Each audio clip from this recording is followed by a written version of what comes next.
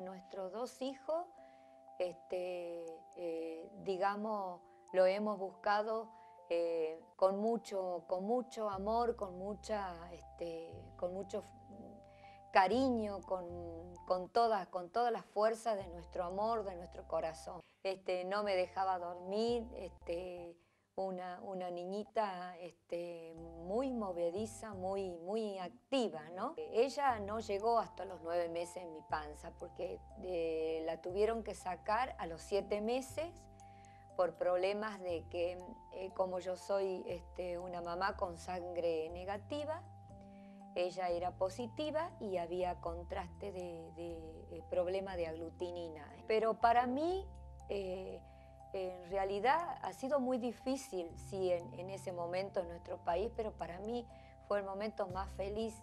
Eh, siempre me ocupé de, de, mis dos eh, niños y él era muy, muy mamero, siempre lloraba, no lo podía dejar así nomás con, con, cualquiera, con cualquier familia, ni con su este, abuela, ni con sus tíos, nada de eso. Así que, este, bueno, eh, yo estaba ocupada en todo eso y, con Marita cuando nació estuvo dos meses en la incubadora. Bueno, ella nació con un kilo 400 y después fue avanzando. Eh, yo me sacaba la leche con, este, con un activador para poderle poner en la mamadera para que le dieran a ella este, la leche, ¿no? Se dormía con el chupete, si no, no, no se dormía y la mamadera este, también dejó este, ya casi grandecita, sí, dos años y medio más o menos, porque ella, yo le hacía la leche y, se quedaba en la cama mirando la televisión, los dibujitos, este, con la mamadera. Él es músico, le gustaba mucho tocar la guitarra, cantar, venían sus amigos a la casa y Marita este, le molestaba... Eh, digamos, que todos los días estén con la batería, que estén con la guitarra, que estén con, todo eso. Entonces ahí discutían un poquito, pero bueno, ella era la que manejaba a su hermano, porque realmente Marita este, se, hizo, eh, es una niña con un carácter bastante fuerte, ¿no?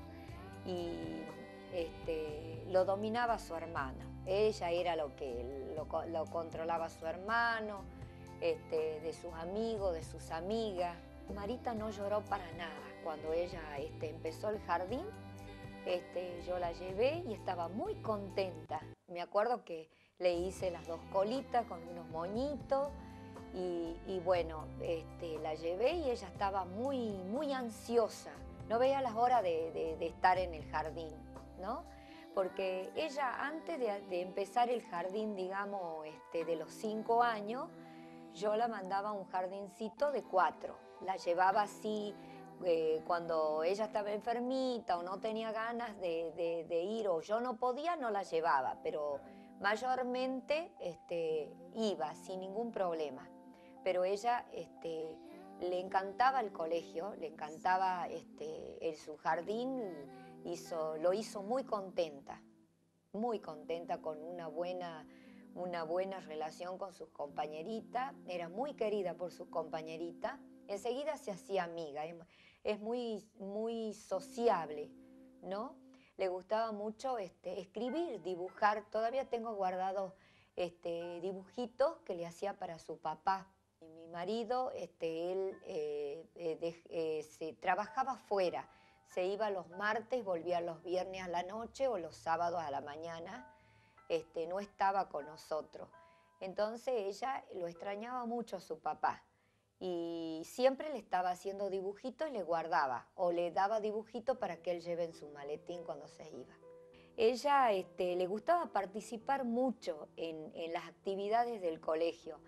Eh, por ejemplo, para el 25 de mayo hizo de dama antigua, así que yo le tenía que hacer el traje, este, peinarla, llevarle este, todo lo que la, señorita le pedía era sagrado para ella.